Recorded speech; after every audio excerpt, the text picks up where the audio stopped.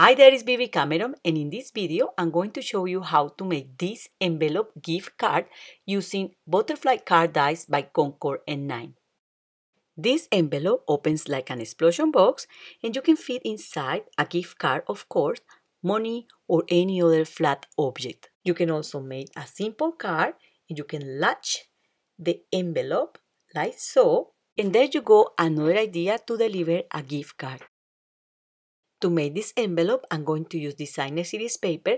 You can also use scrapbooking paper and I'm going to trim this at 7 inches and a half by 11 inches. In centimeters, this is 28 centimeters by 19. Once I have my paper ready, I'm going to grab a scoring tool and I'm going to score at 2 inches, at 3 inches 3 quarters, at 7 inches a quarter, and at 9 inches.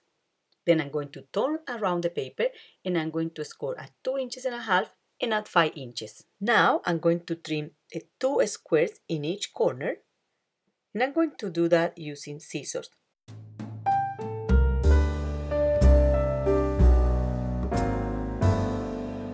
So this is how the envelope pattern should look. And now I need to place the dies on these scoring lines here, like so, and I'm going to use tape just to keep them in place. If you are using an average size of die cutting machine, you will notice that the paper is quite a bit larger than the platform. So no worries, you can just do what I'm doing here and your project and your machine are going to be okay. You can also fold those flaps towards the center, but I don't really like the marks that the embossing machine creates on the paper. So I'm just going to do it like that. It works fine. And there is no need to use a Big Shot Plus or a big die cutting machine to do this. The next step is to trim the flaps of the envelope in a diagonal like so. And this will allow the envelope to close nicely and flat.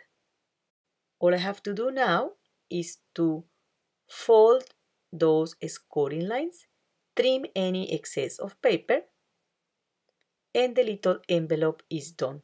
You can embellish this any way you want. You can also stamp over and you can also use a corner punch to round those corners there. This envelope measures 3.5 by 2.5 inches or 9 centimeters by 6.5 centimeters. I also made a very simple card using Butterfly Beauty stamp set that coordinates with these dies and I stamp tone on tone with the butterflies stamps in the set and different green inks. And to add some accents to this card, I'm going to stamp the smaller butterfly in the set with white craft ink. And to finish, I paste a little banner made with one of the stamps in the set to say happy birthday.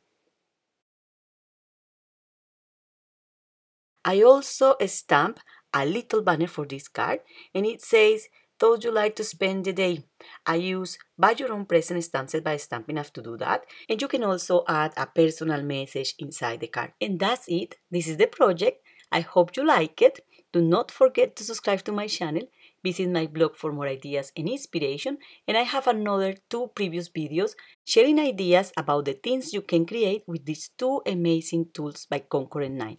Thank you very much for watching and happy crafting. Bye!